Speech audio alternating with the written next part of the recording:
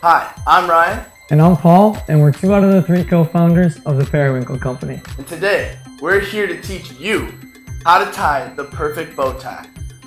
To start out the perfect bow tie, you have to make sure it's at the perfect length. Paul here has his just beneath his third button of his shirt. He's then going to adjust it so that one side is shorter than the other side. Since Paul is right-handed, his right side is going to be shorter. He then tucks the short end under the long end and then tucks the long end underneath everything and pulls through. Make sure you tie it tight and then throw the long end over your shoulder.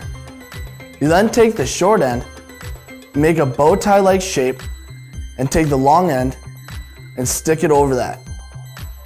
The next step is to grab the two flaps that you made, and this is the beginning of the most difficult part.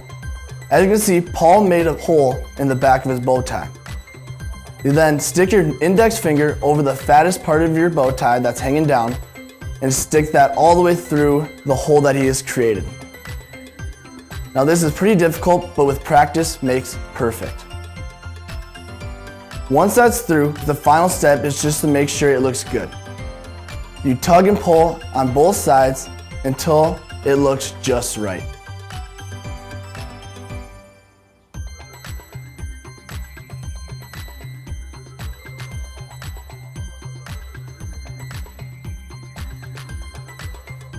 And there you have it, the perfect bow tie.